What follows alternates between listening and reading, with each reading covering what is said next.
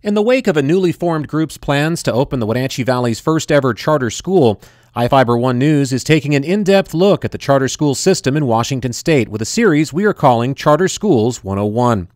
This week, our series continues with a focus on the charter system's oversight and funding structure. Similar to the modeling of a traditional school district, each charter institution is locally governed by its own board of directors and that nonprofit panel and the school they oversee are both held accountable to the same standards as the public system by the Office of the State Superintendent. In addition to these regulations, charter schools in Washington are also beholden to a separate entity of oversight as well. There's a specific uh, charter commission that reviews the applications, um, and they come back and will also review on an annual basis. Um, they don't just look at the standardized test assessments, but they come in and do an audit charter schools are given a little bit more freedom and flexibility around curriculum. You know, all students have to take the exact same you know set of standardized tests that all public school students take. But in exchange for some of this flexibility, they're held more accountable from an operational perspective, from a fiscal and financial perspective, and then also. Uh, academic achievement and academic growth perspective. So there's a little bit of give and take. On top of simply having these non public performance standards in place, charter schools in Washington are also subject to forcible closure if they fail in achieving them.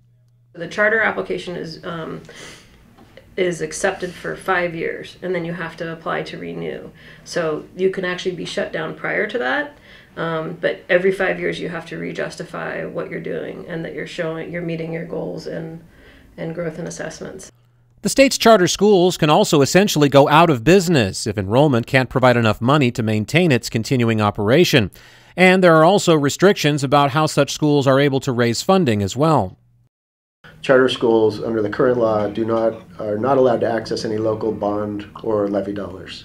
Um, so it does require you know the nonprofit charter school to go out and do some of their own development fundraising efforts to support um, what traditional levies support um, in district schools.